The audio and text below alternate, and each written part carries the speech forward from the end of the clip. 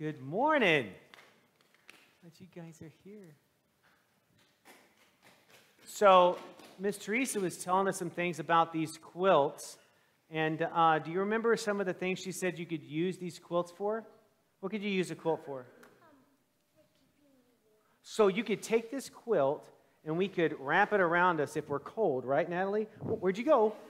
There you are. We can wrap it around if you're cold, right? Well, you know what else you could do? Is that you could lift that up over there. We're going to make it, make, it, make it like a roof. Can you pick it up? Can you pick up the Can you pick up the quilt and help me hold it up like a roof? There you go, just like that. Yeah. So we could be underneath it, almost like it's a fort, right? That'd be super cool. Or how about this? Let me see it real quick, everybody. Let me see it. I'm going to show you one more thing we can do with it too. Let's say we all were in the same house, but we wanted to have some privacy between us. We can create a wall we can make a room divider with it. That's right. You know what else they could use these things for? Thank you. Thank you so much. You know what else you can use it for? You could use it for a floor.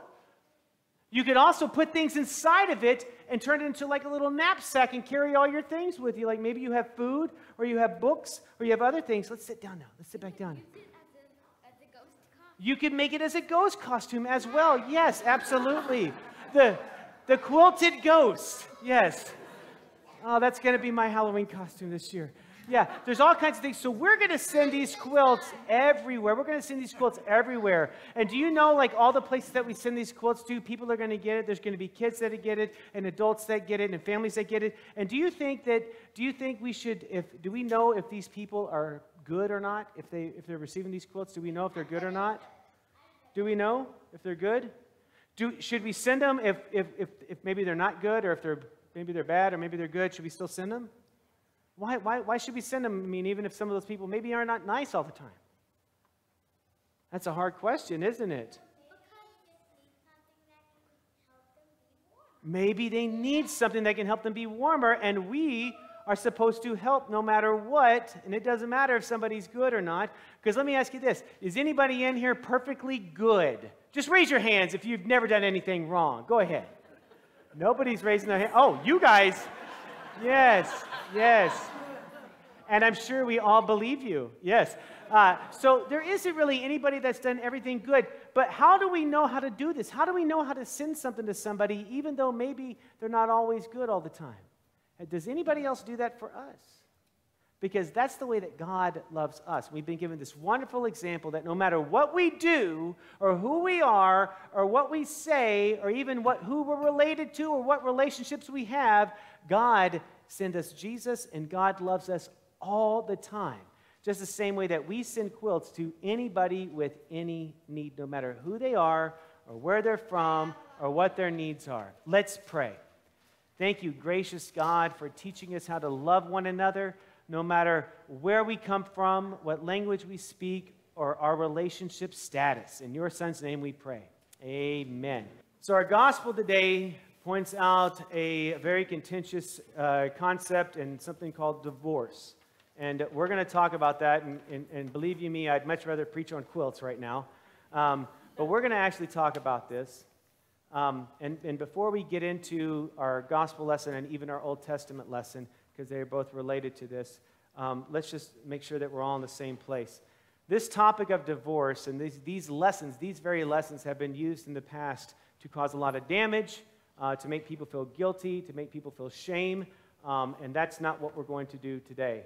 Um, a lot of times we read scripture from our 21st century eyes, and uh, we forget that this was written for a certain people at a certain time in a certain context. And I think once we start reading it that way, we might discover some really, really good news because divorce has touched everybody. I've done premarital counseling for almost 20 years as a, uh, uh, as a pastor, and every couple that comes in, we work through their history, their family history, and not a single couple has not had one aspect of divorce in their life. Um, there are people in here that have been divorced. There are people that are going through divorce. Uh, there are people that are contemplating divorce. There are people that are, have never been married. There are people that have been married 70 years or 70 minutes. This, there is good news in this lesson for all. So let's take a look at it, shall we? In the Old Testament lesson today, um, God is, is, is talking to or, or, or doing some things with the first man. This is the second story of creation. Now, creation stories, uh, there's two of them in our Bible, and um, they're commonly known as midrash, uh, which is a telling uh, which is to explain what happened. In the New Testament, we have parables. Uh, in the Old Testament, they have something called the Midrash. So when some, like a child says, Where did we come from? they would do the creation story. They would do this telling to explain where God was in all this and that God is in the middle of it. So we're in the second story of creation, and God has already created the first man and then recognizes this man needs a helper. And so God says, I'm going to give you all these animals, so maybe you can find a helper among them, name them all. And so the man starts to name them. You're going to be goat, you're going to be pig, you're going to be cat, you're going to be unicorn. I'm just kidding. Yes. Uh, and, then, um, and then afterwards, there was no helper to be found. Before we go any further, that word helper is a pretty important thing. Because in our 21st century mindset, I, I hear the word helper and I think of me being like a kindergarten teacher, and Tommy's going to be my helper for the day. And Tommy's going to pass out the glue, and Tommy's going to collect all the papers, and Tommy's going to get to move the clips on the board. Tommy's going to be the first in line. Tommy, you're the helper today. I'm the helper. But Tommy is part of an authoritative structure, right? Where I have all the power, and Tommy has no power, right? That's our concept today of this aspect of a helper, I think, a lot of times. But in Scripture, especially in the Old Testament, when the word helper is used outside of this lesson right here, it's always describing God's character. And when it describes God's character, it's as if God is a rescuer. And it's the same uh, Hebrew word that's used for rescue. So, God, in the story of creation, is looking for someone to rescue the first person from solitude. We're made to live in community. Not so that somebody comes to be underneath this person as some sort of subject to help, but one to work with. And so God names the first person, and the name is Adam, uh, which literally means earth, dirt, dust. And then pulls, causes this sleep to come over this, this first person, and then pulls out a rib, and then creates this woman. And this woman's name in the Hebrew is best to be described as life giver, spirit, breath. And so God says that these two will become one flesh. Now, a lot of times that concept of one flesh is used to talk about procreation, and yes, it is, and you can talk about that, but it also means a mutual loyalty, that they are now one, and that this dust, dirt, earth is now with this living, life bearing spirit. Does that remind you of anything else? It's a beautiful image of creation, right? And that they are one. And what God has joined together, no one could possibly separate this. And if you keep reading in Genesis, the next line says, And they both realized that they were naked and they were not afraid. And at this point in time, this is paradise. This is perfection. This is God creating something for us to go and co create and continue to create together with mutual loyalty, where I'm looking out for the good for you and you're looking out for the good for me, and we're working together. Okay, so that's Genesis text. Jesus is going to quote this in a minute, so we're going to come back. The Pharisees are trying to trap Jesus because he's been named the Messiah by others. And they're really concerned about job security because if he comes in, he's going to overthrow their, their, their, their, their top of the pyramid, you know, and he's going to take charge of the temple. And where are they going to be? And so they're really not wanting him to do this because things are going pretty good for them right now. And please don't ruin this for us, Jesus. And so they try to trap him. And they said, is it lawful for a man to divorce his wife? And Jesus, the good rabbi, responds with a question Well, what does Moses say? Well, Moses says you can write a letter certificate of dismissal and divorce her. And Jesus reminds them why Moses wrote this is because of their hardness of heart. So let's just pause for a second and kind of talk about that. Anytime you hear the word hardness of heart, if you're like me, you think of Pharaoh.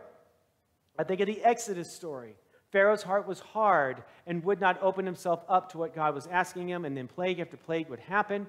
And I preached on this a while back and talked about this hardness of heart is really just another word for selfish, self centered. I, I'm, I refuse to change. No, this is how it's supposed to be. This is how I want it to be, and I will not look at it from any other direction. So, hardness of heart is this unwillingness to change.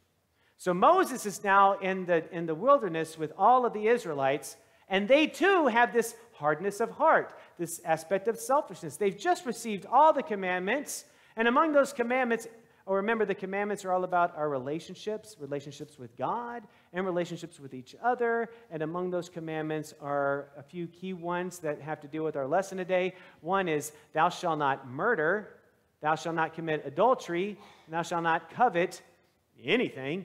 And so Moses is recognizing something pretty dire. The men in the wilderness would dismiss their wife so they could take on another wife. Now, on its face value, that seems like something that should be an okay thing for people to possibly do. However, at the time, if you're going to dismiss a woman that's still married to you back then, that woman then would have to just wander off by herself and try to figure it all out. In other words, she was basically, it was given her a death sentence. She would wander off to die. And the reason why the guy might want to dismiss this woman could be for any reason. Maybe she's not able to produce a male heir. Maybe she can't have children at all. Maybe he doesn't like the way she cooks. It doesn't make a difference. He had the ability to just dismiss her. So Moses is seeing this thing happen and recognizes there, there's some injustice happening here. And I would love to think that Moses was altruistic and just loved women and wrote this to be to make sure that they were protected. I'm sure there was a little piece of that in there. However, what Moses saw was people breaking the commandments. And they were breaking covenantal law. And they were no longer in this right relationship with God or with each other. And so, in a kind of a sense to circumvent that, Moses created this letter of dismissal to divorce someone. So that way, then this woman was not cast off to die, but then could enter into another relationship or another family or another unit or another caregiver. In other words, there wasn't anybody to be murdered in this sense. Um, nobody was going to die in this adultery. So they had this hardness of heart even then. So the Pharisees are asking Jesus about this, and he reminds them of their selfish behavior. And why this was written in the first place is because we have the inability to live in a loving mutual relationship with each other. And then he quotes Genesis.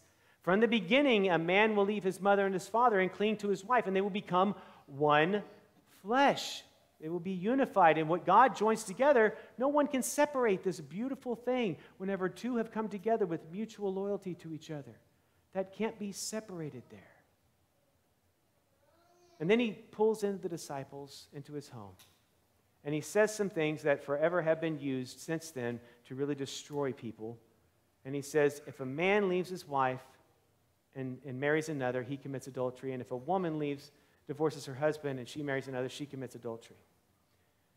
Now, on its face value, if we were going to read this literally, it's a hard thing for us to read. But when we start thinking about the time frame that this was written and what Jesus is saying, at this, mo- at this point in time, women in the Jewish law were not able to divorce their husband.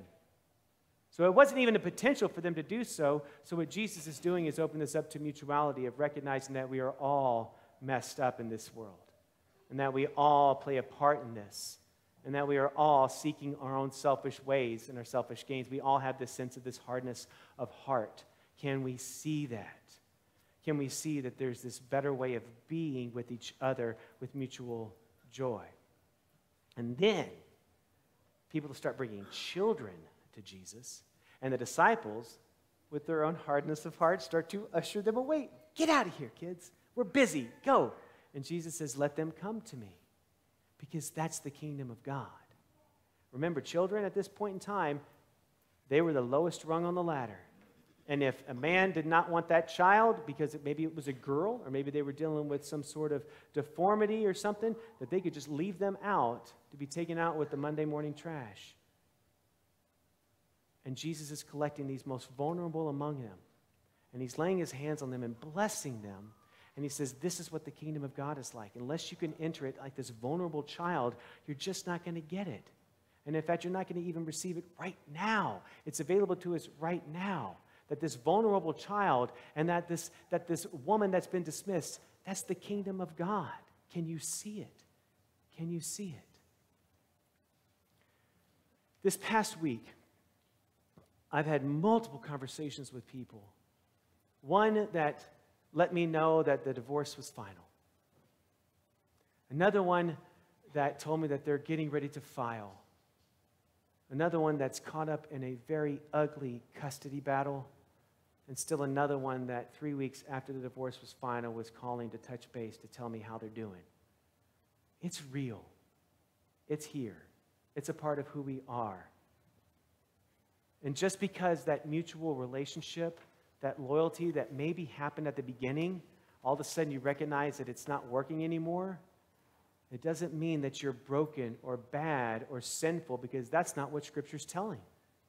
It's inviting us to discover this mutual joy, and that may not be with the person that you're married with anymore. And that's okay if that's the case. But there are others to create that with. Maybe it's the family that you were born into. Maybe it's the family you were adopted into. Maybe it's the family you were married into. Maybe it's the family of choice in your coworkers or your friend group. Maybe it's your pets. Whatever that case might be, there's an opportunity for us to practice this sense of mutual joy, that one flesh aspect where dust and spirit are all come together and we become co-creators yet again. We don't get this perfect because we all have that sense of that hardness of heart and we all seek our own ways sometime. But are we able to come back to that? And if the relationship can't last, then maybe it goes on to dissolve and goes on to a different relationship. But that doesn't mean that you are damned for all time or that you're not going to get into heaven or that you're a sinner. None of that means that because there's nothing that we can say that's going to save us. There's nothing that we can do that's going to save us. And by the way, there's nothing that we can say that's not going to save us or not going to get us into heaven. There's not a relationship status on Facebook that we can put to make sure that I'm okay and that God's going to receive me. Because the truth of the matter is that when our time on earth is done and we turn back to the dust, our spirit, our life, our, our, our, life force, that whatever it goes on, I think at that point in time it meets our beloved Savior whose life, death, and resurrection has saved us, and we become that vulnerable child and we are seen fully in that moment, and we are received into the loving arms of God who has loved us from the beginning of creation, wanting us in this perfect co creating community of love, of mutual loyalty with one another. So today, maybe if just for today we take it easy on each other because we don't know who's dealing with what. We don't know what relationship somebody has or what struggle they're going through in their marriage, or maybe they're single, or maybe they've been married for 70 years or 70 minutes. We don't know. But what we can do is try to practice that sense of seeing the good in you and doing good for you and trying to receive the same thing back and live in that place of mutual loyalty. Amen.